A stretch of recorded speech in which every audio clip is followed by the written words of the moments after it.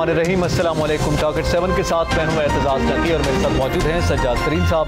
नज़र आज के प्रोग्राम में हम सबसे पहले ज़िक्र करेंगे कि आज पाकिस्तान बार कौंसिल की कुल जमाती कॉन्फ्रेंस हुई है और उसका एलामिया जारी किया गया है। मियाँ Shehbaz Sharif, chairman Pakistan Peoples Party Bilawal Bhutto Zardari साहब भी मौजूद थे और दीगर अहम रहनुमाओं ने भी गुफ्तु की है जिनका ताल्लुक कानून से है। और इस एलामिया में जो कुछ कहा गया है, क्या कुछ कहा गया, ये भी हम डिस्कस करेंगे और इसके साथ साथ इसका क्या इम्पैक्ट पड़ेगा, इसका भी ज़िक्र करेंगे। इसके साथ साथ एक अहम डेवलपमेंट हुई है कि जनूबी पंजाब सेक्रेटरीट मुल्तान का अफ्ताह किया गया है वज़ीर अला उस्मान बुजार ने किया है और उसमें कुछ, किसी हद तक तकरीब में भी कुछ हलचल हुई है, कोई हाथापाई हुई है, किसी हद तक एहतजाज किया गया है, लेकिन ये जो सेक्रेटरीट बनाया गया है, इस हवाले से ये बताया जा रहा है कि एक बहावलपुर में है और एक मुल्तान में है। तो ये संग बुनियाद रखा गया, इसकी क्या सूरत हाल होगी? बल्कि आज अफ्ताह किया गया है। ज़्यादातरीन साहब सबसे पहले तो ये आज बड़ी अहम डेवलपमेंट है कि पाकिस्तान बार कौंसिल में कुल जमाती कॉन्फ्रेंस और फिर उसका एलामिया एलामिया में आप जानते हैं कि ये तीन अहम पॉइंट्स जो है वो सामने आए हैं। एक तो जजेस तकर्री का जो तरीक़ाकार है, उस पर नज़रसानी की जाए और उसी से रिलेटेड है कि उन्नीसवीं उन्नीसवीं तरमीम को भी तरमीम किया जाए, उसमें उसका नज़रसानी की जाए। और इसके साथ साथ एहतसाब के कानून में भी तरमीम की जाए, उसमें जो पहले गिरफ्तारी होती है और बाद में एतराफ़ जुर्म होता है या नहीं होता तो उस हवाले से भी आज ये बात की गई है। क्या समझते हैं आप आज पाकिस्तान बार काउंसिल के प्लेटफॉर्म से हमारी अहम सियासी जमातों ने, अपोजिशन जमातों ने, अपने जो कल जो कानून साजी हुई है, उस पर एक किस्म का रिस्पॉन्स भी सामने आ रहा था? देखिए, मैं आपको अर्ज़ करूँ कि ये जो तीन नकात आपने बताए, ये तीनों बहुत अहम हैं। पाकिस्तान को कायम हुए सत्तर साल से ज़्यादा हो गया और इस अरसे के दौरान हमेशा जो है वो पोलिटिकल पार्टियों की तरफ़ से, इंसानी हकूक़ की तंजीमों की तरफ़ से और दीगर जो समाजी इदारे हैं, उनकी जानब से ये बार बार आवाज़ बुलंद होती रही कि जजेस का जो तरीक़ाकार है, उसको तब्दील किया जाए। पहले मैं आपको पहले पॉइंट पर बता दूँ जजेस के तरीक़ाकार को तब्दील करने के लिए पीपल्स पार्टी और मुस्लिम लीग नून के दरमियान एक मिसाक जमहूरियत हुआ था, जिसके तहत दो सुप्रीम कोर्ट बनाई जानी थी। एक सुप्रीम कोर्ट जो कि वो रूटीन मैटर सुनेगी जैसे ये सुने जाते हैं मुकदमा और एक सुप्रीम कोर्ट वो होगी जो मुल्क के जो आइनी मामला हैं, जो आइनी नौीयत के मामला आते हैं, वो उसमें डिस्कस होंगे। और उसके जजेस के जो इंतखब का तरीका था, तैनाती का तरीका था, वो भी डिफरेंट होगा। उसके बाद ये सिलसिला जब मुस्लिम लीग नून और पीपल्स पार्टी के दरमियान मिसा के जमहूरीत में तय हो गया, लेकिन जब पीपल्स पार्टी इकतदार में आई तो मुस्लिम लीग नून, क्योंकि इफ्तार चौधरी के बहुत करीब थी, और इफ्तार चौधरी साहब भी, आपको पता है कि उस वक्त किस तरह का जज थे और उन्होंने ये नहीं होने दिया। और मुस्लिम लीग भी अपने इस नकात से पीछे हट गई इस माहे से। उसके बाद अब जो सूरत हाल है, वो ये है कि दोबारा आवाज़ें उठाई जा रही हैं। तो मैं समझता हूँ कि आज जो इलानिया आया है, उस इलामिया में ये कहा गया है कि जो जजेस की तैनाती का फैस, अख्तियार है, वो पार्लियामेंट के पास होना चाहिए। ये मैं समझता हूँ एक अच्छी बात है, ये ऐसी बात नहीं है कि जिससे हम ये कहें कि ये कोई मुश्किल बात है या ये इससे कोई मसाइल पैदा होंगे। ये बिल्कुल तरीक़ाकार ऐसा ही होना चाहिए। ताकि ये ना इल्ज़ाम लगे कि पसंद और नापसंद या फ़लाँ पार्टियों की तरफ़ से लगा दिया गया है या फ़लाँ जजेस की तरफ़ से लगा दिया गया है, कोई ग्रुपिंग अदालतों में नज़र ना आए। आज आपने देखा होगा कि मियाँ शहबाज शरीफ ने बहुत खुल के बात की और जजेस की उन्होंने बहुत सारी बातें गिनाई। उन्होंने जो पाकिस्तान में नज़रिया ज़रूरत के तहत जो फैसले हुए, उनका भी ज़िक्र किया। लेकिन शहबाज शरीफ साहब ये भूल गए हैं कि उन्होंने ख़ुद जस्टिस क्यूम को फ़ोन करके ये कहा था, मोहतरमा बेनज़ीर भुट्टो शहीद के बारे में, कि इनको सज़ा दे दो और इतनी ज़्यादा सज़ा दे दो जिसके जवाब में जज ने ख़ुद कहा, जस्टिस क्यूम में कि इतनी सज़ा तो मैं दे ही नहीं सकता। तो फिर सैफुररहमान ने ये कहा उनको फ़ोन करके, जो इनके उस वक्त नैब के चेयरमैन थे। कि जनाब इनको सज़ा दें मियाँ साहब नाराज़ हो रहे हैं। तो मैं ये समझता हूँ कि इस किस्म की जो बातें हैं जो माजी की गलती हैं पॉलिटिकल पार्टियों की ये अच्छी बात है कि वो तस्लीम करके आगे जा रहे हैं वो कह रहे हैं माजी की दास्तान ना दोहराई जाए। शहबाज शरीफ साहब ने ये बात की लेकिन साथ बिलावल भुट्टो जरदारी साहब ने आज बड़े धीमे लहजे में एक पूरी तारीखी जुमला ये भी साथ कहा उनके जो कि हमेशा से ज़ाहिर है ये टेसल पीपल्स पार्टी उन्होंने के दरमियान रही कि जो कल कानून की हुक्मरानी नहीं मानते थे आज वो हमारे साथ हैं। देखें ये बात तो बिल्कुल ठीक है। अब मुस्लिम लीग को भी पता चल गया और ऐसी बात नहीं आप देखिएगा एक वक्त आएगा जब खान साहब को भी पता चल जाएगा कि उस वक्त जो अपोजिशन कह रही थी वो ठीक कह रही थी। आज जिस तरह मुस्लिम लीग नून वाले ये कह रहे हैं और अपनी गलतियों का वो एतराफ़ कर रहे हैं। देखिए अगर मुल्क में आइन और कानून की बालादस्ती होगी तो तमाम जो लोग हैं, वो मेरे ख्याल में बहुत बेहतर तरीके से हर जगह परफॉर्म कर सकेंगे किसी को इस बात का फिर शिकवा नहीं होगा कि कोई अपनी मर्ज़ी से जज से फ़ैसला ले सके। जिस तरह मियाँ शहबाज शरीफ ने आज जस्टिस अरशद मलिक का भी ज़िक्र किया, एहतसाब जज वालों ने जो मियाँ नवाज़ शरीफ के खिलाफ फैसला दी कि वहाँ से कैसे लिया गया। तो ये सारा तरीक़ाकार जो है, ये वही डिपेंड करता है कि हम जजेस को जो हैं, वो उनकी जो तैनाती का तरीका है, वो पार्लियामेंट के पास हो और वो एक बहुत शफाफ होना चाहिए, जिसमें लोगों को पता हो कि ये ये जज जो है ये आदमी जो है उसको ओपन डिबेट होनी चाहिए कि फ़लाँ आदमी को फ़लाँ अदालत के लिए मुंतखब किया जा रहा है। उसके बारे में लोग खुद राय दे देंगे और पता चल जाएगा कि कौन आदमी किस काबल है या नहीं है। ये खामोशी से लगाना और अपने पसंद के लगाना इससे मसाइल पैदा ये वही तरीका कार है मैं समझना चाह रहा हूँ सजातरीन साहब। वही तरीका कार है जैसे चेयरमैन नैब के हवाले से एक खास तरीका कार मौजूद है ये अपोजिशन और हुकूमती जमातें मिलकर फैसला करती हैं। ये इस तरह नहीं है इसमें जो है ये जो हुकूमती कमेटी हुकूमती और अपोजिशन अरकान की कमेटी है इनको सुप्रीम को हाई कोर्ट के जजेस का जो तैनाती का तरीका है उस पर बात कर रहा हूँ ठीक है। कि वो जो है अपना जो सुप्रीम कोर्ट की जज हैं वो उनकी तरफ़ से चीफ जस्टिस की तरफ़ से नाम आ जाते नाम आ जाते हैं। उन नाम पर वो पेश कर दिए जाते हैं। उनमें से, तो। उनमें से वो कह दिए जाते हैं कि ये ये लोग हैं इनको ये लगा दिया ये कर तो मैं समझ लो अगर मुकम्मल अख्तियार पार्लियामेंट के पास आ जाए और पार्लियामेंट मुकम्मल तौर पर बाख्तियार हो जाए नाम भी ये दोनों जमातों की जानिब से सामने नहीं दोनों जाने नहीं जो पार्लियामेंट की जानिब से पार्लियामेंट में कोई भी जमात हो जो पार्लियामेंट में हो पार्लियामेंट की कमेटी और जो तरीकाकार मतलब तय हो जाएगा उसके तहत होना चाहिए। उसके बाद अब नैब की जो बात की ये बात बिल्कुल ठीक है। अब देखिए नैब के जो कवानीन है चाहे वो ये मियाँ मोहम्मद नवाज़ शरीफ साहब के ज़माने में सैफुररहमान जो थे उस ज़माने में 11 साल आसफ अली जरदारी साहब जेल में बंद रहे और बाद में सारे मुकदमा से बाइजत बरी हो गए लेकिन ग्यारह साल वो तो जेल में रहे ना ग्यारह साल। ठीक है। उन ग्यारह साल का कोई अजाला नहीं हो सकता। अब बेशुमार लोग ऐसे पकड़े हुए हैं मौजूदा नैप में, जिसमें आप देख लें सैयद खुर्शीद शाह अभी तक अंदर हैं, कुछ साबित नहीं हो सका। शाहिद खाकान अब्बासी अंदर हैं, हमजा शहबाज अंदर हैं और बहुत सारे लोग अंदर हैं। तो ये बात ठीक है कि नैब के मौजूदा कवानीन को तब्दील करना चाहिए और जब तक इंक्वायरी मुकम्मल ना हो जाए कुछ साबित ना हो जाए गिरफ्तारी नहीं होनी चाहिए। ये लोग तीन तीन साल दो दो साल चार चार साल पड़े रहते हैं जेलों में जैसे राजा परवेज़ अशरफ साहब हैं। उनकी आप यकीन करें कि राजा रेंटल कह के कि दस साल जो उनकी करेक्टर असैसिनेशन हुई और उसके बाद वो भरी हो गया लेकिन वो दस साल जो उन पर करेक्टर असैसिनेशन होती रही मीडिया की तरफ़ से इल्ज़ाम लगते रहे उसका अजाला मुमकिन नहीं है। और टैग तो, तो लग गया ना। टैग लग प्रोपेगेंडा एक अलग तो चीज़ है समझता हूँ कि नैब के कानून में भी तब्दीली होनी चाहिए इसको भी पार्लियामेंट में डिस्कस करना चाहिए जजेस की तैनाती का जो तरीकाकार है उसको भी डिस्कस करना चाहिए और बहुत बेहतर तरीका उसको बनाना चाहिए जैसे दुनिया भर में तरीके हैं उसी तरह के होने चाहिए हमारे अच्छा, यहाँ ये ये एक मामला है कि अभी जैसे ये हवाला दिया गया है। मामला नैब कवानीन का हो आपके इल्म में है इसकी तरमीम की हामी थी पाकिस्तान पीपल्स पार्टी। और नून लीग की जानब से रेजिस्टेंस मौजूद रही है। इसी तरह डिसकॉलीफिकेशन जिस पर खुद ट्रैप हुए हैं मियाँ नवाज़ शरीफ और आ, उसकी तरमीम का मामला था। उस पर पाकिस्तान पीपल्स पार्टी की बड़ी डिमांड आती रही नून लीग उस पर रेजिस्टेंट रही है।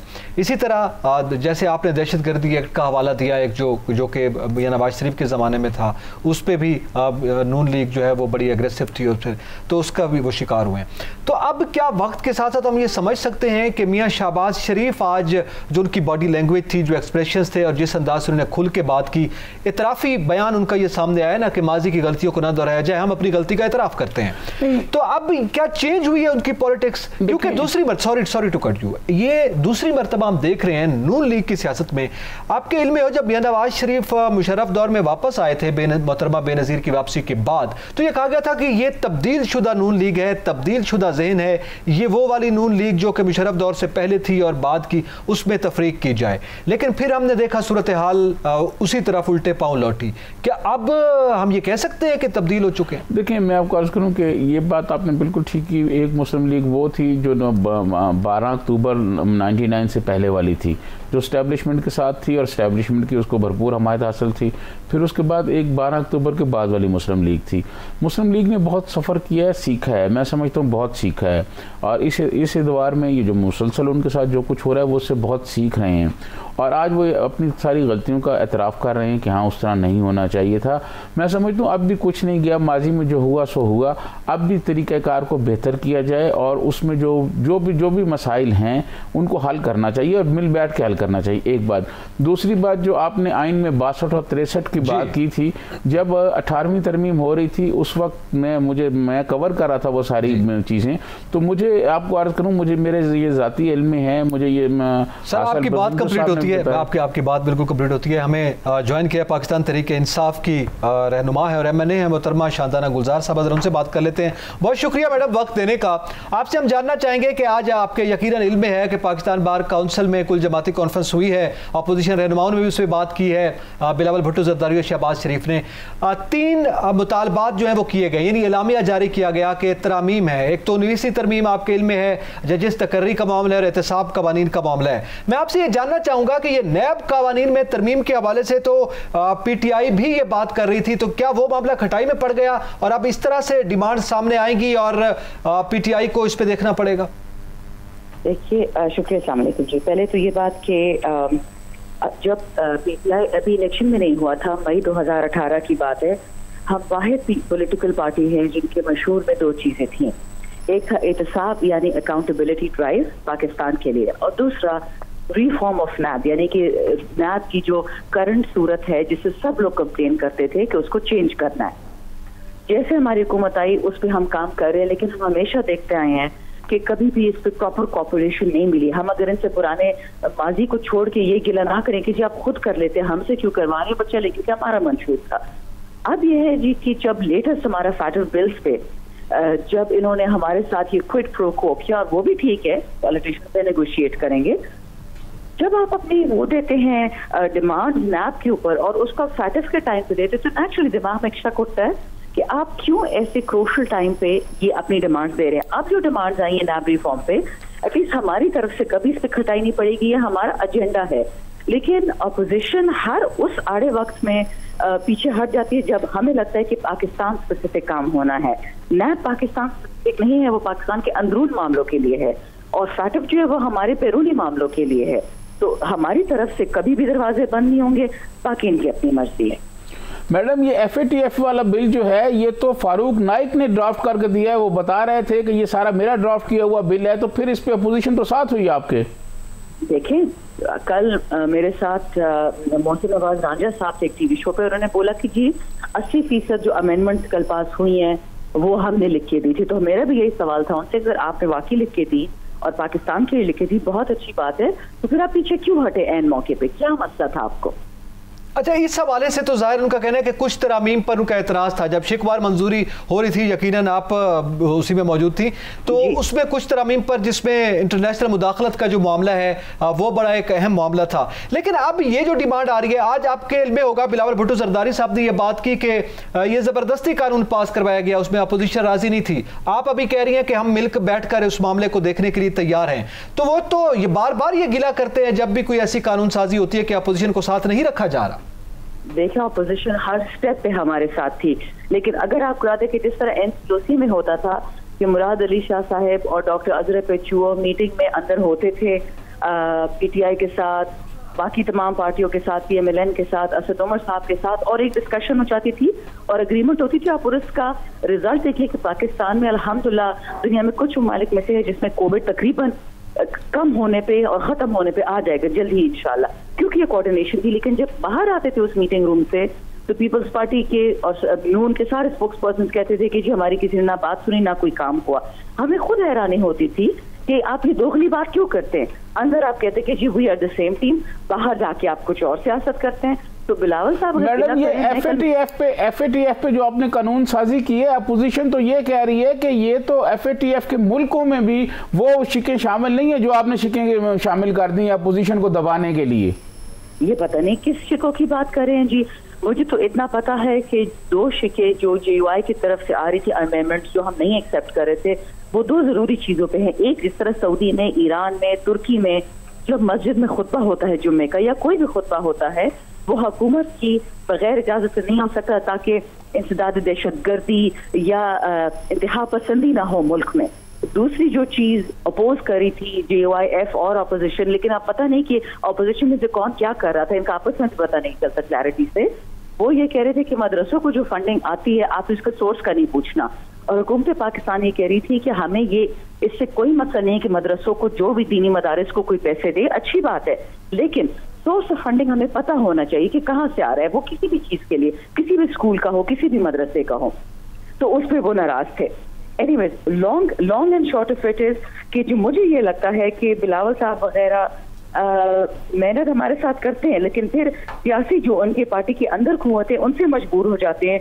कि वो फिर प्रो पीपल्स पार्टी उनको लगता है प्रो पीटीआई कानून है। उनको ये समझ नहीं पड़ती कि प्रो पाकिस्तान कानून है। मुझे तो जाती ये लगता है। आप कह रही हैं पहले एग्री किया था बिलावल साहब ने? तमाम पार्टियों ने सेशन से पहले अग्रीमेंट कर ली थी कि ये मेजोरिटी जितनी क्लॉजेज है हम इस पर इकट्ठे होंगे। लड़ाई इस बात पे हुई कि बिलावल साहब और शबाज साहब स्पीच करना चाहते थे जो रूल्स इजाज़त नहीं देता। अगर अब आप अमेंडमेंट मूव नहीं करते आप तकरीर नहीं कर सकते। नाराज़गी उस पर हुई है। अमेंडमेंट्स पे नहीं हुई है। अच्छा चले चले, उस पर उस पर हम ज़ाहिर यकीनी तौर पर मजीद बात हो सकती है, लेकिन बहुत शुक्रिया शाहजारा साहब, हमारे पास वक्त बड़ा मुख्तर है। आपने अपना कीमती वक्त दिया, बहुत शुक्रिया। सजा तरीन साहब, ये तो बड़ी मुख्तलिफ़ बात जो है, वो सामने आ रही है कि पहले एग्री किया, बाद में नहीं। तो इस पर मेरे ख्याल में बात होनी चाहिए और करते भी हैं। नाजरीन, यहाँ पे वक्त तो एक ब्रेक का हमारे साथ रहिएगा।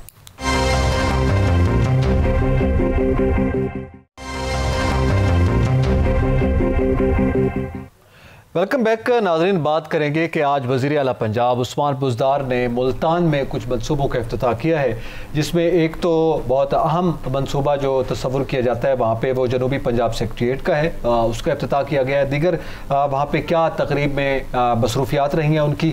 और इस हवाले से आ, जो पंजाब हुकूमत की कारकर्दगी है और जनूबी पंजाब जो शिकवे करता था किस हद तक उनके ज़ख्मों पर मरहम रखा गया है? ये आज गुफ्तु करेंगे। हमें इस वक्त ज्वाइन किया लाइन पर मौजूद हैं एजाज तरीन साहब ब्यूरो चीफ मुल्तान है। बहुत शुक्रिया एजाज तरीन साहब। सर, आपसे जानना चाहेंगे, क्या एक्टिविटी रही है आज वजी अला पंजाब की? जी, आज वजी अला पंजाब ने खासा मसरूफ दिन गुजारा और उन्होंने सर्कट हाउस मुल्तान में मुख्तलिफ़ मनसूबों का संग बुनियाद भी रखा और आज उन्होंने जो सबसे बड़े मनसूबे का संग बुनियाद रखा, वो जनूबी पंजाब का मुल्तान में सेक्रेट था। ये मतीतल रोड पर बनाया जाएगा। ये पाँच मंजिला इमारत होगी जो 500 कनाल अराजी पर मोहित होगी, इसमें सेक्रेट होगा। वज़ीर अला के समय दीगर दफातर होंगे, रिहायशी होंगी, और दीगर जो है, ये होगा। इसका सही बुनियाद आज वज़ीर अला ने सर्कट हाउस में रखा इसके साथ साथ वज़ीर अला ने जो है वो जिम खाना क्लब बनाने का भी मुल्तान ने ऐलान किया और इसके साथ साथ पाँच अरब रुपए की लागत से मिस्टर अस्पताल फ़ेज़ टू के जल्द ऑपरेशन होने की मजीद भी सुनाई। इसके साथ ही वज़ीर अला पंजाब उस्मान गुजार ने अमेरिकन कॉलेज को यूनिवर्सिटी का दर्जा देने का भी ऐलान किया और इंजीनियरिंग यूनिवर्सिटी का संजय बुनियाद भी रखा। वज़ीर अला ने आज वकला के बहुत से मुतालबात भी पूरे किए और डिस्ट्रिक्ट कोर्ट के लिए मजबूरी तौर पर 26 कनाल अराजी देने का ऐलान किया और चौक कचहरी पर पार्किंग के मसाइल दूर करने के लिए उन्होंने कचहरी में एक पार्किंग के लिए बिल्डिंग भी तमीर करने का ऐलान किया। इसके साथ साथ बिहाड़ी रोड को जो टूट फूट का शिकार है, उसे बनाने का ऐलान किया। लोहा मार्केट और गल्ला मंडी जो है, उसे शहर से बाहर मुंतकिल करने का भी ऐलान किया। आज सर्कट हाउस में तकरीब के दौरान दो चार लोगों ने मजबी वहाँ पे पैदा की, लेकिन उसे फौरी तौर पर कंट्रोल कर लिया गया। वहाँ पर जो दो चार लोग थे, उन्होंने नारेबाजी भी की। उनका कहना था कि स्टेज पे जो पैनाफ्लेक्स लगाया गया है, उस पर वज़ीर अजम इमरान खान की तस्वीर नहीं थी। और इसके साथ साथ जो है, वज़ीर खारजा शाह महमूद कुरेशी की तस्वीर भी नहीं थी। तमाम ये दो चार लोग दो चार मिनट एहतजाज करने के बाद वहाँ से इन्हें स्काइप पर कर दिया गया। मैं आपको ये बता दूँ कि दो साल में वज़ीर अला पंजाब उस्मान बुजार का ये जो दौरा है ये अवामी दौरा चलाया जा रहा है लेकिन मुल्तान के अवाम का ये कहना है कि पावलपुर को जो में दिए गए हैं उनमें फ्रांस और डेवलपमेंट एंड प्लानिंग जो है ये भी भावलपुर को दे दिया गया है। उनका ये कहना था कि इन दो महकमों से कम अज कम एक महकमा जो है वो मुल्तान को दिया गया है। वज़ीर अला ने आज सर्किट हाउस में इजलास भी किया जिसमें सोलह महकमों के जो जनूबी पंजाब के सेक्रेटरी के लिए तैनात किया गया है उनके इजलास की सदारत भी की और उनके हवाले से परफॉर्मेंस भी पूछी। इसके अलावा ठीक है। बहुत शुक्रिया एजाज तरीन साहब आपने डिटेल ये बताया है। एजाज तरीन साहब क्या समझते हैं अवामी दौरा तस्वर किया जा रहा है? जनूबी पंजाब सेक्रेटरीट एक बड़ा अहम मामला है वहाँ की अवाम। देखें मैं आपको अर्ज़ करूँ कि हम तो हर रोज़ जनूबी पंजाब की महरूमियों का यहाँ रोना रोते हैं। अपने प्रोग्राम में आपका और मेरा ताल्लुक जनूबी पंजाब के शहर मुल्तान से है। हम मुल्तान के होने के बावजूद हम डेरा गाजी खान हम राजनपुर की महरूमियों की बात करते हैं हम मियाँ वाले की बात करते हैं जो प्राइम मिनिस्टर इमरान खान का हल्का है। जहाँ आज भी टेलीफोन के जो बोस्टर हैं वो नहीं लगे हुए और वहाँ टेलीफोन सुनना बहुत मुश्किल काम है।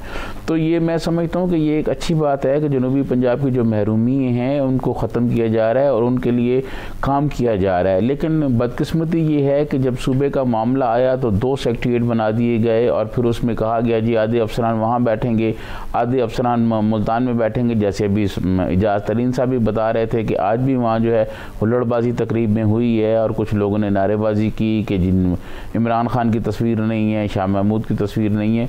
तो मैं आपको अर्ज़ करूँ कि मैं समझता हूँ कि जनूबी पंजाब की महरूमियों को बेहतर तरीके से सरदार उस्मान बुजदार जो हैं वो जानते हैं क्योंकि उनका तल्लक ख़ुद तोसा से है और वो जानते हैं कि वहाँ क्या मसाइल हैं। ख़ुद प्राइम मिनिस्टर इमरान खान ने उनके बारे में कहा था कि उनके गाँव में बिजली नहीं है तो वो तो ये समझते हैं मसाइल। अब मेरे ख्याल है उम्मीद की जा सकती है कि दो साल में काफ़ी उन्होंने सीख भी लिया है और चीज़ें समझ भी ली हैं। और हम ये उम्मीद करते हैं कि वो अब जो हमारे जनूबी पंजाब के जो मसाइल हैं जो महरूमी हैं उनको ख़त्म करने के लिए अपना रोल अदा सर इस पर बात करते हैं। हमें ज्वाइन किया पाकिस्तान तरीके इंसाफ के एम एन ए है और जनूबी पंजाब से आपका ताल्लुक है। अहमद हसन रियाड साहब बहुत शुक्रिया अहमद हसन रियाड साहब आपने वक्त दिया। आपसे सर जानना चाहेंगे आज अफ्ताह किया गया मुल्तान में जनूबी पंजाब सेक्रेटरीट का। आपका हमेशा मुतालबा रहा आप हमारे प्लेटफॉर्म पर भी ये डिमांड करते रहे कि मुल्तान में बनाया जाए। क्या आपका मुतालबा आपकी जमात और आपकी हुकूमत ने तस्लीम कर लिया? सबसे पहले तो मैं मीडिया का शुक्रगुजार हूँ जिन्होंने हमारी आवाज़ जो है ना वो पहुंचाई और उसके बाद मैं वज़ीर आज़म और वज़ीर अला का शुक्रगुजार हूँ जिन्होंने हमारी बात को सुनकर और हमें मुल्तान में सेक्रेटेरिएट कायम किया है और मुल्तान की मट्टी से जो है हमारी वफा और उनकी मोहब्बत जो है इस बात से साबित है कि अल्लाह ताला ने हमें कामयाब किया है। और जिस तरह मैं यही कहता हूँ कि हमारे वज़ीर आज़म इमरान खान और हमारे वज़ीर अला जो हैं, वो हमारी मसाबात भी सुनते हैं, हमारे मसाइल हल करते हैं और इस गरीब अवाम के लिए जो मसाइल हल कर रहे हैं। मलिक साहब, ये बताएँ कि मुल्तान में तो तमाम सहूलियात मौजूद हैं। आप खुद भी हमारे प्रोग्राम में ये कह चुके हैं कि मुल्तान में इंटरनेशनल सहूलियात भी हैं, एयरपोर्ट भी है और हर चीज़ है। उसके बावजूद ये बहावलपुर में महकमे देना ये नाइंसाफ़ी नहीं है, जनूबी पंजाब और मुल्तान के साथ? सर नाइंसाफ़ी तो ये हो रही थी कि सोलह महकमे वहाँ दिए जा रहे थे हम्म। अब 16 में से आठ महकमे आठ से दस महकमे यहाँ आ गए हैं हम्म। तो मैं समझता हूँ ये हमारी आवाज़ उठाने की वजह से अल्लाह ताला ने मेहरबानी की हमारे वज़ीर आज़म और वज़ीर आला ने ये बात सुनी और आठ से दस महकमे हमें मिल गए हैं। और मैं समझता हूँ कि मुल्तान का असल हक है और मुल्तान को ही सोलह महकमे मिलने चाहिए, लेकिन दस महकमों का मिल जाना भी मैं क्रेडिट वज़ीर अला को दूँगा कि वज़ीर अला ने जिस तरह हमारी आवाज़ वज़ीर आज़म तक पहुँचा के ये बात मनवाई है मैं वज़ीर आला को खराज तहसीन पेश करता हूँ और उन्हें सलाम पेश करता हूँ। मलिक साहब जिम खाना मुल्तान में बनाने का फैसला हुआ है। इस हवाले से आप बताएँ कि ये जिम खाना क्लब की तामीर के बाद जरा मुल्तान के लोगों को क्या क्या सहूलियात मिलेंगी? मैं समझता हूँ कि ये एक बहुत बड़ा एक तोहफा है जो वज़ीर आला ने मुल्तान को दिया है। और ये हमारे यहाँ पे कोई इस लेवल का कोई भी इस तरह का कंट्री क्लब नहीं था और ये जिमखाना जिस जगह पे बनाया जा रहा है, वो जगह भी मैं समझता हूँ इस शहर के बिल्कुल ही दरमियान में और सबसे बेहतरीन जगह है और सेक्रेटेरिएट के साथ ही इसको बनाया जा रहा है। और मैं मुबारकबाद पेश करता हूँ, ये जो फैसला हुआ है, इससे मुल्तान जो है, उसकी तरक्की और जनूबी पंजाब की तरक्की में इजाफा होगा। तालीमी इदारों के हवाले से बताएँ कि तालीमी इदारे जो हैं, मुल्तान में कोई आपकी हुकूमत या आपने कोई कोशिश की है, कोई और तालीमी इदारे ज़्यादा बनाए जाएँ मुल्तान में ख़ास तौर पर बच्चियों के लिए? सर बिल्कुल इसके लिए हमारे से प्रपोजल्स ली गई हैं, खास तौर पे देहातों में जो है अपना गर्ल्स कॉलेजेस जो है ना, उसको हम बढ़ा रहे हैं। और अब चूँकि कोरोना की वजह से फंड्स की कमी थी, इसलिए पिछली थोड़ी सी कमी रही है तो अब जब हालात बेहतर होंगे तो सबसे ज़्यादा तवज्जो जो है वो तालीम पर दी जा रही है। और मैं ये समझता हूँ, ये सेक्रेटेरिएट आने से और यहाँ सेक्रेटरी आने से और जो 33 परसेंट फंड मुख्त किया गया है जनूबी पंजाब के लिए ये तारीख में एक बड़ा संग मील है। और इससे जनूबी पंजाब की जो तरक्की है उसके में ये ऐसा किरदार ऐसा काम हो रहा है जो तारीख में सुनहरे अल्लूक में लिखा जाएगा। बहुत शुक्रिया अमल सन रिहर साहब अपना कीमती वक्त और हमसे गुफ्तु की। आ, ये ज़ाहिर है जनूबी पंजाब के हवाले से ये बात की जा रही है खुद वजी अला पंजाब का ताल्लुक भी जनूबी पंजाब से ये मनसूबे दिए गए हैं लेकिन उसमें मुतफरक आ रहा आ रही हैं। इस पर ज़ाहिर है गुफ्तु हम करते भी हैं और करते भी रहेंगे। यहाँ पे वक्त तो एक ब्रेक का हमारे साथ रहिएगा।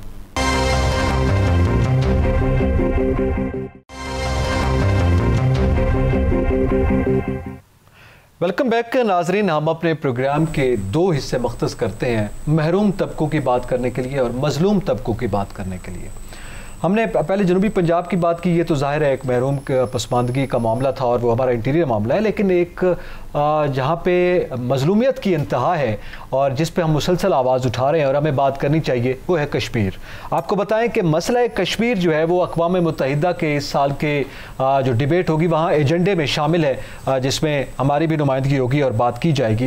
लेकिन आपको बताएँ कि सर्च ऑपरेशन किया गया है आकोपाइड कश्मीर में, मकबूजा कश्मीर के बट्टा और बालों के इलाकों में, इंडियन फ़ौज की जानब से, जहाँ पे एक खातून समेत चार अफराद को जो है, वो शहीद कर दिया गया है। और इसके अलावा भी बहुत सी शहादतें जो रिपोर्ट नहीं हो रही। और उस पर ज़ाहिर है, पाकिस्तान अपनी सतह पर कुछ बात कर रहा है, लेकिन क्या अकवा मुतहदा के ये जो एजेंडे में शामिल हुआ है, इस पर आगे क्या पेशरत हो सकती है, इस पर बात करते हैं। क्या कहते हैं सजाद तरीन साहब ये एक सवाल है। मेरे ख्याल में इस पर सवाल करने की भी ज़रूरत नहीं है कि अकवा मुतहदा की तो करारदादें पहले से मौजूद हैं। वो आप एजेंडे में शामिल हो गया, उस पर डिबेट होगी। कितने असरात मुरतब होंगे? देखें मैं आपको अर्ज़ करूँ कि कश्मीर में जो जुल्म हो रहा है, उसकी दुनिया में कोई मिसाल नहीं मिल रही। बहुत जुल्म हो रहा है और ख़ास तौर पर पिछले एक साल से पाँच अगस्त के बाद जो जुल्म की दास्तान वहाँ शुरू हुई है, वो ख़त्म नहीं हो रही। वो जुल्म आए रोज़ बढ़ रहा है। आए लोग उनके नौजवानों को गैब किया जा रहा है, मारा जा रहा है ख़वान के साथ जुल्म किया जा रहा है। अब हमारे प्राइम मिनिस्टर जो हैं, वो जा रहे हैं अकवा मुतहदा में और उम्मीद है कि वो वहाँ तकरीर करेंगे और उसका कोई तकरीर जो होगी, वो ऐसे नहीं होगी जैसे पिछले साल हुई थी। तो उन्होंने कहा कि मुझे ऐसे लगा कि मैं वर्ल्ड कप जीत के आया हूँ। लेकिन वर्ल्ड कप उन्होंने ऐसे जीता कि कश्मीर की जो स्पेशल हैसियत थी, वो भी ख़त्म हो गई। तो अब उम्मीद की जा सकती है कि वो ये वर्ल्ड कप वाली बात नहीं करेंगे और जब वो आएँगे तो एक तो वहाँ पर वो ये बात करेंगे और दूसरे जब वो जा रहे हैं और इस दौरे में वो उनको मिलेंगे। देखें मैं आपको अर्ज़ करूँ, दुनिया भर में जो मुखालफतें थी वो ख़त्म हो रही हैं, दुश्मनियाँ ख़त्म हो रही हैं। आप देखें इसराइल को जो है, बेशक अमरीका के दबाव पर ही, लेकिन अरब ममालिक मानते जा रहे हैं और मुसलसल मानते जा रहे हैं।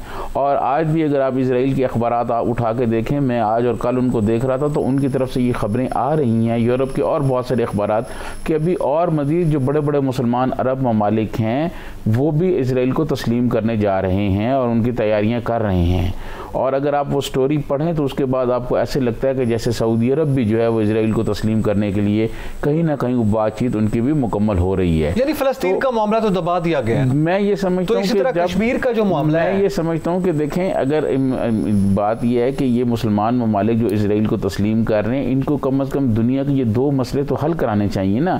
एक फ़लस्तीन का मसला है फ़लस्तीनियों के साथ बहुत जुल्म किया है इसराइलियों ने उसकी भी कोई मिसाल नहीं है। बहुत इतना जुल्म है कि वो अल्फाज में बयान नहीं किया जाता। इसी तरह इसराइल में जो है वो जुल्म करता जा रहा है मुसलमान उसको तस्लीम कर रहे हैं बगैर किसी माहे या बगैर किसी फ़लस्तियों की हैसियत के कि उनका क्या स्टेटस होगा कोई कंडीशन नहीं रखी जा रही और इसी तरह कश्मीर में जो है वो बहुत जुल्म हो रहा है।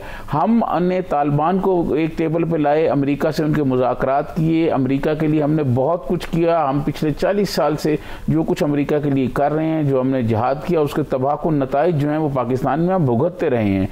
उसके बावजूद जो है, दुनिया अगर कश्मीर पर हमारी बात नहीं मानती तो मैं समझता हूँ हमें अपनी पॉलिसियों पर अब नज़रसानी करनी चाहिए और हमें ये देखना चाहिए और हमारी लीडरशिप जो है, उसको अब प्राइम मिनिस्टर जा रहे हैं तो यकीन ट्रंप से इस पर बात करेंगे कि कम अज़ कम हमें जो कश्मीर का मसला है, वो तो अकवा मुतहदा की करारदातों के मुताबिक हमें हल करके दिया जाए और जो कश्मीरी चाहते हैं, जो कश्मीरी चाहते हैं, उन कश्मीरियों की ख्वाहिश के मुताबिक उस मसले को हल किया जाए और वहाँ जो जुल्म हो रहा है, जो बरबरीत हो रही है, उसका कम अज़ कम खात्मा होना चाहिए बिल्कुल, इस पर जो है आवाज़ उठानी चाहिए, आवाज़ उठा रहा है पाकिस्तान, लेकिन बहरहाल बड़ी ताकतों के सामने। हमेशा तरीन साहब, आप भी जानते हैं, हम भी जानते हैं, वो गिव एंड टेक की पॉलिसी होती है। जो ममालिक के दरमियान मामला होते हैं, वो मफादात की बुनियाद पर होते हैं तो उस पर हमें अपनी पॉलिसी को देखना चाहिए। ये बड़ा अहम पॉइंट आपने बताया वक्त ख़त्म हो गया है और जाते जाते भी यही पैगाम है नाजरीन के। जब हम मजलूम अकवाम की बात कर रहे हैं तो हुकूमतों को कम से कम जब वो बात कर रहे हैं तो सिर्फ़ इस बुनियाद पर आइडियोलॉजी की बुनियाद पर मेरे में नहीं माना जाता। मफादात का तहफ़ तमाम ममालिक करते हैं तो हमें अपने मफादात का तहफ़ उसी पैटर्न उसी अंदाज में करना चाहिए, जो कि प्रैक्टिकल है। एतजाज़ नकीर सजाद तरीन को इजाज़त दीजिए। अल्लाह हाफिज़। Thank you.